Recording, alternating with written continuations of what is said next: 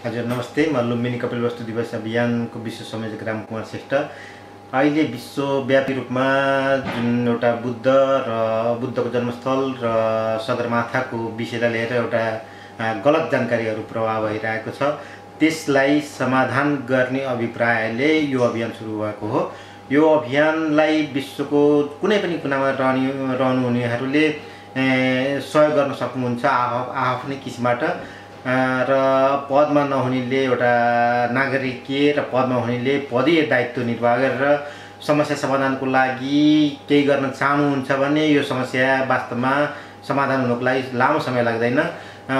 यो समस्या समाधानको लागि यहाँहरूले हामीलाई फेसबुकमा पनि खोज्न सक्नुहुन्छ लुम्बिनी कपिल वस्तु डे बुद्ध बनी नेपाल यो फेसबुक एकाउन्ट र पेजमा।